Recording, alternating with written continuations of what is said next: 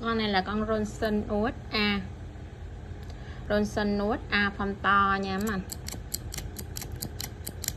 rất là nhạy lửa ha. Đây có chỗ cho anh khắc tên luôn và con này nó có à, ngày tháng năm sinh ở đích luôn nè. Đây.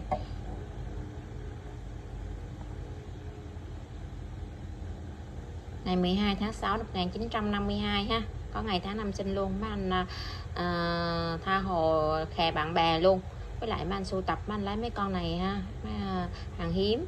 Con này à, xưởng đặt ở Canada luôn nè. Đó hàng xuất Âu rất là hiếm nha. Tình trạng con này còn khá đẹp con này con phong to nha. Đơn sinh nó có à, phong to và phong nhỏ nữa. Con này con phong to nha. Con này con phong to nha anh có chỗ cho anh khắc tên luôn. Đó phay của nó là phay à, phay nhám chống trầy. Đó, phay nhám chống trầy. Con này còn khá đẹp mà. Đó, con này còn khá đẹp dòng dòng Johnson thì giữ xăng vô đối. À, em à, em mới à, à, lụm được cái um, cái bộ dụng cụ à, dụng cụ đựng à, đựng đựng đồ của Johnson nè. Đây em tặng kèm cho cái cái quẹt này luôn ha. Em tặng kèm luôn nha anh. Đây cái bộ đựng đừng dùng dụng cụ ha. Cái dụng cụ xỏ tim và cái dụng cụ vệ sinh quẹt. Dụng cụ xỏ tim và dụng cụ vệ sinh quẹt đó. À, đừng cái dụng cụ và xỏ tim xỏ đừng quẹt và đừng à, đừng đá nè.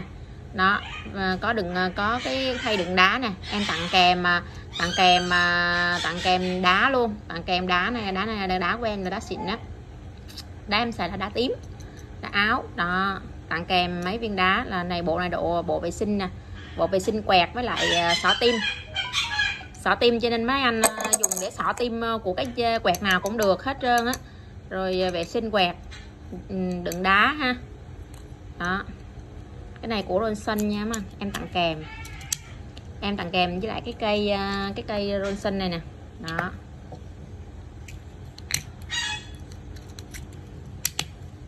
Đó, mấy anh, rất là đẹp. Nó mỏng lắm. Độc mấy anh. Rất độc ha. Tặng kèm với cây Ronson này ha. Cây Ronson này siêu hiếm mà cây Ronson này có ngày tháng năm sinh nè. Ronson này siêu hiếm.